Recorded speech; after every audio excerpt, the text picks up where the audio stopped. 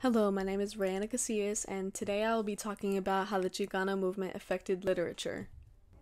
I'll be connecting the novel Under the Feet of Jesus to the Chicano movement using the theme of change. The definition of change is to alter, vary, or modify something, but this can be measured on any scale no matter how big or small. Change is the constant thing that everyone will experience in their life, and it's a big topic that's come up during this quarantine. Millions of people are calling for change for many different things, but people have always been fighting for these changes. The Chicano movement can arguably date back to the 1500s, but I'll be talking about the Chicano movement from the 1900s to now. The word Chicano was a derogatory term used to label Mexican Americans, but during the 60s, many Mexican Americans began to label themselves this with pride. There are many different Chicano movements, but the one I'll be focusing on is the farm workers movement. The farm workers movement is one of the most iconic Chicano movements, and the movement in itself was for the exact people who are represented in the novel Under the Feet of Jesus. In 1965, grape pickers were reported to make 90 cents per hour and 10 cents more for every basket that they picked. State laws that were supposed to protect working standards were completely ignored by farm owners, and it was even reported that at one farm, the boss was forcing farm workers to drink from the same cup, and then at another farm, they had to pay a quarter to drink a cup of water. They weren't provided with toilets, and their temporary housing was segregated by race. Not only were they segregated, but they had to pay $2 more daily to stay in unheated housing with no plumbing or cooking facilities. Labor contractors had favorite workers. They selected their friends first and accepted bribes from the workers. And child labor was extremely common, and many people were injured while working at farms and or they died from the injuries at the farm. The average life expectancy of a farm worker was 49 years. In 1959, the AWOC, or Agricultural Workers Organizing Committee, was founded. It was an outgrowth of a previously founded organization called the Agricultural Workers Association, which was founded by Dolores Huerta, aka one of the most prominent leaders of the farm workers movement. This brings us to the founding of the NFWA, or the National Farm Workers Association, which was started by a Chicano man named Cesar Chavez in 1962. He came from a family of extremely poor farm workers, and after joining the CSO, or Community Service Organization, he rose his way to the top and became the national director. But the CSO refused to concentrate their efforts on organizing farm workers, so Chavez left to do it himself. The CSO is where Chavez also met Dolores Huerta, who we talked about previously. On September 16th, the AWOC approached Chavez and asked the NFWA to join them in a strike. In just four days, over 30 farms were left without thousands of workers. The farm owners tried to calm the strike by raising the wages to $1.25 an hour, but they were shocked to find the strikers wanted more. Chavez then called the public to boycott buying grapes without a union label. Union volunteers established boycott centers and encouraged people to join their boycott. At the time of these boycotts, the civil rights movement had people educated on racism and discrimination, so once they heard about the mistreatment of many farm workers, millions of customers stopped buying table grapes. In a fit of rage over the boycotts, the Schenley and DiGiorgio company sprayed its striking workers with agricultural poisons. To protest this, Cesar Chavez led a 340 mile walk on March 17, 1966. Hundreds of people joined him, and once they arrived at the Capitol building, 10,000 people were pressuring DiGiorgio to sign an agreement with the NFWA. The International Brotherhood of Teamsters offered itself to DiGiorgio as a conservative alternative to the NFWA, and of course they accepted. Chavez was infuriated by the betrayal, and despite this, the strikes dragged on for dozens of grape farms in the Delano area. The NFWA and AWOC officially merged the summer before the DiGiorgio election. They became the UFWOC, or the United Farm Workers Committee. Many grape growers began to accept union contracts because of the strikes, and the UFW became one of the most represented unions in California. Under the Feet of Jesus directly represents migrant workers from the farm workers movement. Helena Maria Viramontes is one of the many Chicana writers who writes about the Chicano movement. At the 12th annual Latino Book and Family Festival, she spoke about her work relating to Chicanos, and in this quote, she's quoting what a man said to her when she was becoming a writer. He told me, you know, the trouble with your work, Elena, is that you're writing about Chicanos. You should be writing about people. She later goes on to make the point that ethnic writers are forced to define what universal writing is, and the only reason she was ever told this was because the advisor who told her couldn't understand her ethnic characters, so therefore they just didn't exist to him. This is what inspires her to become a good writer and write the novel Under the Feet of Jesus. Under the Feet of Jesus is a novel about Chicano migrant workers, or pescadores, who are forced to make a living harvesting grapes and other fruits in California.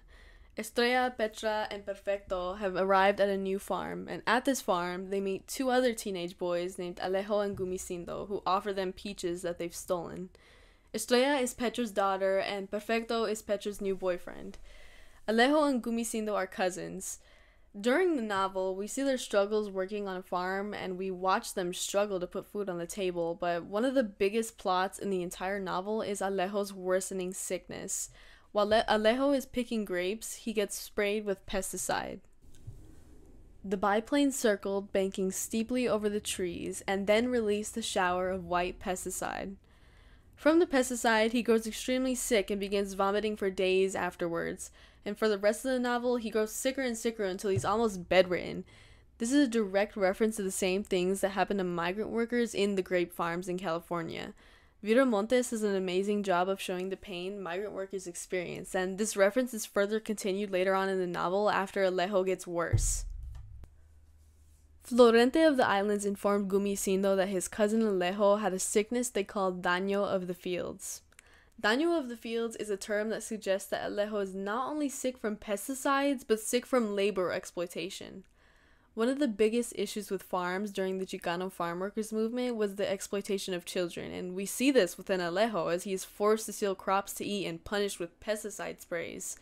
This further shows the connection of Under the Feet of Jesus to the farm workers movement and shows how Viramontes included the farm workers movement in the novel. Another way we see Chicano culture in the novel is through a statue that Petra names Jesucristo. This is a statue of Jesus, and underneath this statue, Petra keeps legal documents, including Estrella's American birth certificate. When Estrella is nervous about being caught by La Migra or the immigration police, Petra tells her, if they stop you, if they try to pull you into the green vans, you tell them the birth certificates are under the feet of Jesus. Just tell them. Despite being Chicana and owning an American birth certificate, Estrella still fears and is pursued by immigration police on the border. This shows the reader more of the fear and discrimination migrant workers experienced. It also shows us more insight to their culture and religious values. Jesucristo is a symbol of Petra's hope to prove that Estrella is an American citizen and Petra's faith in God and religion to keep her safe.